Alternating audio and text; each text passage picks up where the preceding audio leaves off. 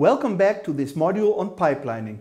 In this lesson I will describe a canonical pipeline consisting of five stages. Oh, but wait a minute, this is not a course about the history of laundering, is it?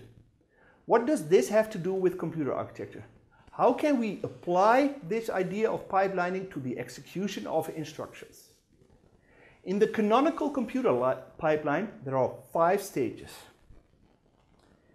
In the first stage, the instruction fetch, or abbreviated as IF stage, the instruction to be executed is read from memory using the program counter as the instruction address and the PC is incremented so that it points to the next instruction. Since all instructions are 4 bytes in MIPS, incrementing the PC means adding 4 to it. The second stage is the instruction decode or ID stage. In this stage, the instruction is decoded in the control unit to determine what needs to be done. But also, the source registers are read from the register file in case we need them. Now we understand, at least partially, the beauty of the MIPS instruction set. Because, as I explained in a previous lesson, the source registers are always in the same place in the instruction format, namely in the RS and RT instruction fields, we can read the register file before the instruction is decoded and we know what the instruction needs to do. The third, the third stage is the execute stage. In this stage, the operation that takes place depends on the instruction. This is possible because the instruction has been decoded in the previous stage. R-type instructions such as add, subtract, but also logical operations such as OR are executed. For memory accesses, loads and stores, the effective address is computed. This consists of adding the base register RS to the 16-bit immediate offset encoded in the instruction. Third, for branches, for branch instructions, the branch condition and the branch target address are computed. The branch condition determines if the branch should be taken or not. For example, the branch, if equal, is taken really takes place if its first source register is equal to its second source register and this needs to be calculated. The branch target is computed by adding the offset to the program counter plus 4.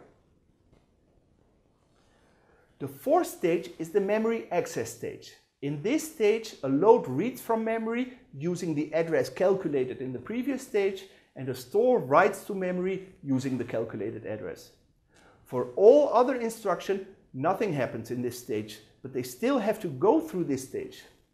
This is because the instruction pipeline needs to stay synchronous. The fifth and final stage is the write back stage or the WB stage. In this stage, instructions that write back a result to the register file do so.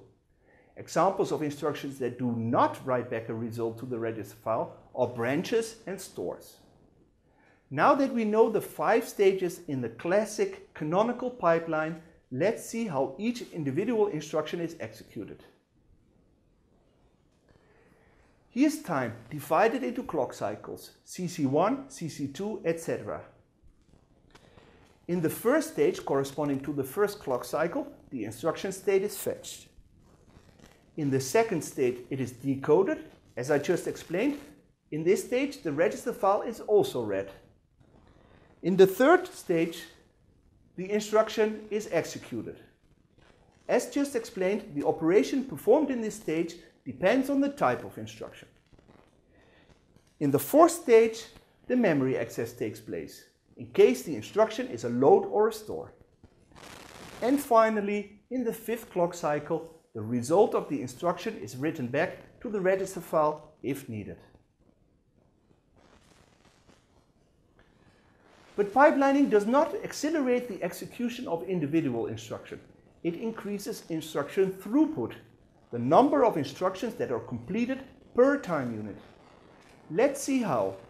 Let's consider the execution of a sequence of four instructions. Here's again a timeline, and here vertically are the instructions.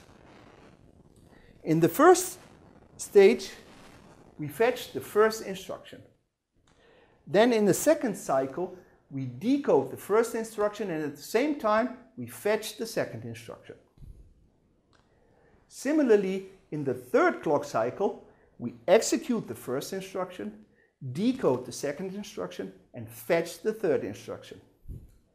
Then, in the fourth clock cycle, the mem stage of the first instruction takes place, the execute stage of the second, the ID stage of the third, and the fetch or, or instruction fetch stage of the fourth instruction.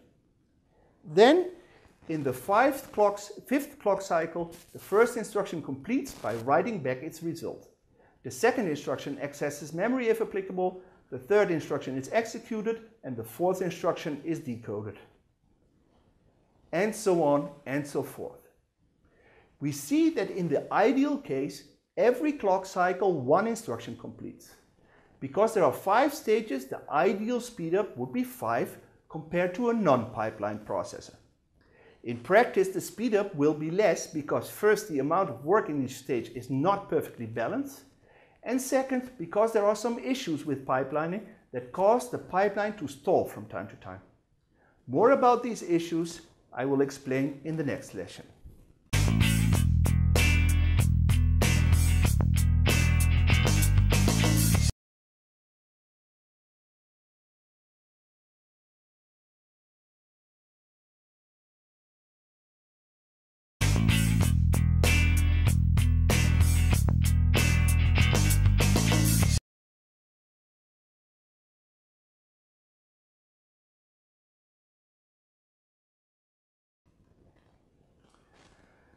I'm going to draw a block diagram of our first processor, the five-stage pipeline processor. Furthermore, I am going to focus on the data path of the processor. The data path is the part of the processor that performs operation. It is controlled or steered by the control part. Data path and control together form the processor. This is the first part of the data path that performs the instruction stage. The program counter is used to address the instruction memory and the instruction memory returns the, the instruction the program counter points to. The instruction is stored in a pipeline register called IF ID. It is called that way because it separates the IF, the instruction fetch, and the instruction decode ID pipeline stages.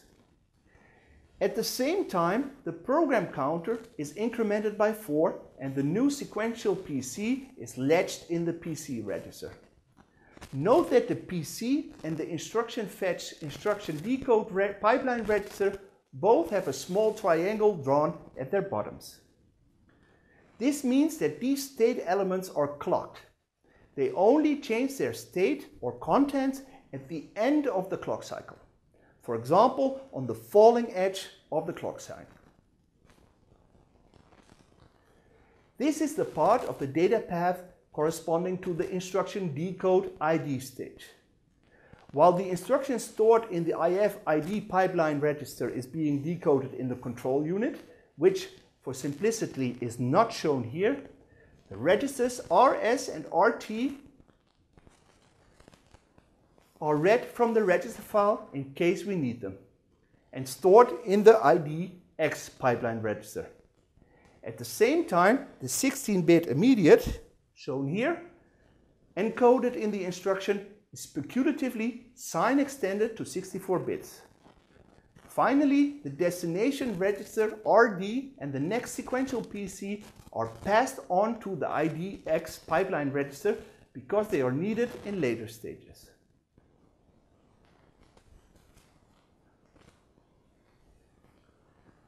This part of the data path corresponds to the execute stage. The operation the arithmetic logic unit or ALU performs depends on the instruction type. For R-type instruction, it performs the operation specified by the function field. For loads and stores, it computes the effective address by adding the base register RS read in the previous stage to the constant immediate sign extended in the previous stage. Finally, for branches, it computes the target address by adding the next sequential PC, PC plus 4, to the offset contained in the instruction. This offset is multiplied by 4 since it corresponds to a word offset. But for simplicity, this is not shown in this figure. in order to perform operations with different operands, there are two multiplexers in front of the ALU inputs. The top multiplexer selects between the next sequential uh, PC for branch instructions and register RS read in the previous stage, which is needed for all other instructions. The bottom multiplexer selects between register RT, which is needed for instructions having two register source operands, and the sign extended immediate contained in the instruction, which is needed for loads, for stores, immediate type instructions, and branches. This data path, as shown here, supports only one branch instruction, the branch if equal to zero. This branch instruction tests if the RS register is equal to zero. This is done by the yellow block labeled zero, and if so, jumps to the branch target address. In this block diagram, the branch target is calculated by the ALU. At the end of the clock cycle, all intermediate results, the outcome of the zero test, the ALU result, and also the contents of register RT, since this is the register to be stored in case the instruction is a store, are latched into the EX MEM pipeline register. In addition, the next sequential PC and the destination register RD are also passed on from the ID EX pipeline register to the EX MEM pipeline register. This part of the data path corresponds to the memory access stage, the MEM stage. Loads and stores access memory using the effective address, calculated in the previous stage. If the instruction is a store, the data to be stored is on this line. If the instruction is a load, the data load the data loaded is latched into the MEM write back pipeline register at the end of the cycle. Branches also complete in this cycle. To be precise, if the outcome of the zero test in the previous cycle is true, indicating that the branch should be taken, this multiplexer does not select PC plus 4 as the next program counter, but the branch target address, which has been computed by the ALU in the previous stage. In fact, we also need to solder the output of the multiplexer to the PC register, but for simplicity, this has been omitted in this diagram. If the instruction is an R-type instruction, such as an add or a subtract, the, the ALU result is simply routed around the data memory as indicated by this line. Finally, the write-back stage. If applicable, the result of the instruction is written back to the register file. If the instruction is an R-type, such as an add, subtract, or logical OR, the result of the ALU two cycles ago is written back to the register file as indicated by this line. If the instruction is a load, the data read from memory in the previous cycle is written back as indicated by this line. In both cases, the number of the register to be written is given by the RD field, which is on this line. I understand that this is a lot of detailed information and I don't expect you to understand in every detail immediately, especially if this is the first time you see such a block diagram. The most important point I want you to take home are first, we can split the data path into cycles corresponding to stages by inserting pipeline registers between the stages.